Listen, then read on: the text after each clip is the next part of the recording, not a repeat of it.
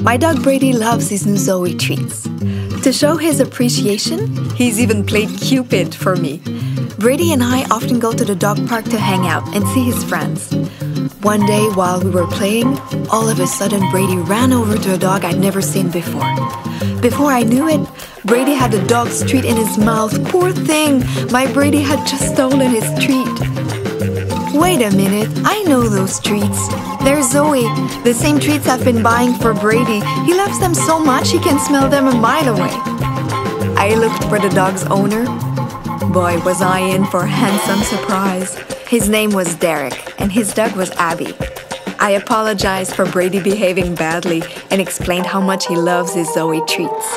And that Brady's had so much more energy ever since he's been eating them. He really loves the taste. Derek said Zoe treats were perfect for Abby because they didn't contain any gluten, which she's allergic to. He said he gave Abby the low calorie treats because she was a little overweight to help keep her fit and healthy. As Derek and I continued to chat about Zoe, the dogs were playing together.